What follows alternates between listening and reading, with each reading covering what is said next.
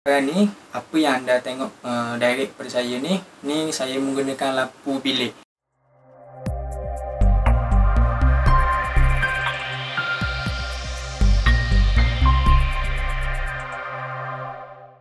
Hello, hai, Assalamualaikum dan selamat datang ke channel Afiq Ismail.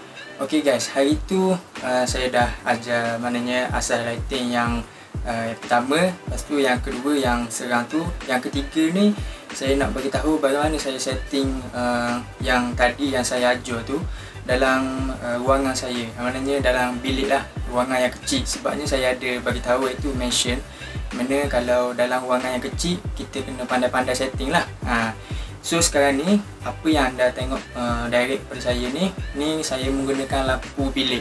Maknanya dia dia direct daripada atas. Okey, saya tidak menggunakan kilat saya, saya tidak menggunakan fill light saya. Tapi kebiasaannya saya akan guna kilat je yang softbox je saya guna. Fill light ni saya kebanyakannya dalam video-video saya pun anda boleh tengok saya tak tak guna uh, fill light dan backlight pun saya tidak guna. Sebab apa saya tak guna backlight?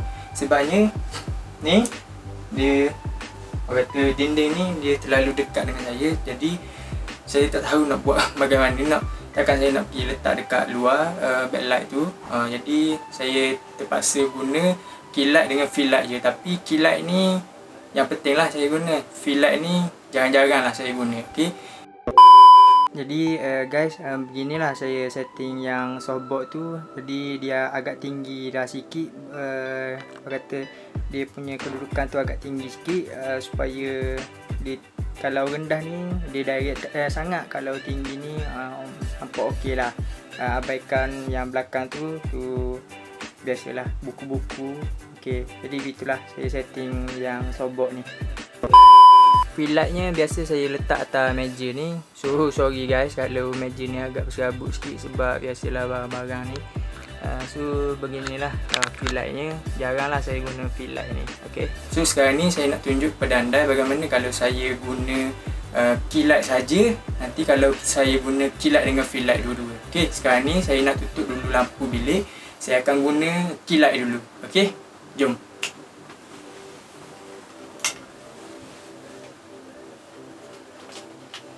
Okey. Okey, sekarang ni saya tengah guna uh, lampu kilat uh, sahaja iaitu lampu daripada softbox tu lah. Uh, bagaimana pendapat anda? Jadi beginilah uh, kebiasaannya saya akan buat. Saya akan tutup lampu bilik. Saya akan uh, buka lampu kilat saja. Dia terus pada saya. Dia tidak terlalu tajam sebabnya dia ada diffuser dia. Lepas tu kain yang kain putih tu yang lembut yang men, orang kata bagi soft lagi cahaya tu dan kalau anda nampak tengok pun sini akan gelap sikit sini akan gelap disebabkan biasa kalau kita buka lampu atas ni sini dia akan cerah sikit dia akan cerah sebabnya lampu ni uh, kilat ni dia direct pada saya so dia akan menjadi bagian ni lah uh, sebeginilah uh. so sekarang ni saya nak tambah fill light bagaimana kalau kedua-dua cahaya ni ada ok sekejap saya buka fill light okay. Sekarang ni fill light dengan kilat bergabung dua-dua. Ha, beginilah hasil dia. Tapi saya jaranglah guna fill light ni sebabnya saya akan guna kilat saja. So, mana-mana yang ada buat uh, video dalam bilik tu, uh, beginilah saya buat video dalam bilik dan mungkin anda boleh praktikan juga kalau dalam ruangan yang kecil lah. Sebab kalau anda perasan dua video yang saya buat tu dia ruangan yang agak besar, agak luas kata. Uh, senanglah kita nak manage bagaimana nak buat uh, lighting tu. Tapi bila dalam bilik beginilah lighting saya buat okey? Dan saya setting ni pun uh, berdasarkan kamera saya. Kamera saya boleh mampu buat setakat tu saya buat setakat tu. Sebabnya macam saya mention lah baru-baru ni dia tak boleh setting shutter speed ISO jadi agak sukar lah kepada saya. Dan kalau anda boleh nampak pun blur pun dia tidak blur. Sebabnya dia bukan auto focus dia manual focus.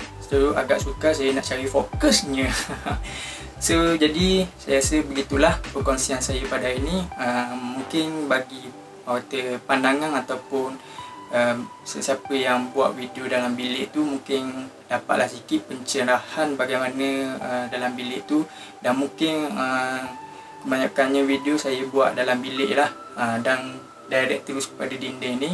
Jaranglah saya buat dekat luar tu melainkan kalau saya rasa macam nak ubah satu ke saya akan pergi set, uh, setting dekat luar saya akan shoot dekat luar. Okey, jadi saya rasa begitulah uh, perkongsian saya pada hari ini uh, dan saya harap uh, video ni bermanfaatlah kepada anda semua. Uh, dan saya rasa setakat tu saja video saya pada hari ini dan kalau anda ada duit lebih uh, mungkin buat pelaburan lah sikit terhadap lighting ni. Sebab asal dalam video ni uh, yang utamanya audio yang kedua lighting. Sebab lighting dengan audio ni ia memainkan peranan yang penting lah. Lighting ni dia boleh mengubah situasi daripada gembira menjadi suram dan orang kata banyaklah uh, lighting yang kita kena buat. Dan saya pun masih belajar lagi. Saya pun masih baru dan apa ilmu yang saya faham ni saya ajarlah kepada anda. Tapi siapa-siapa yang tengok video ni kalau dia ada asaf videografi ke lighting ke kalau ada salah silap tolong bagi tahu saya okey? Dan saya rasa setakat tu saja. Bye bye assalamualaikum. Bye bye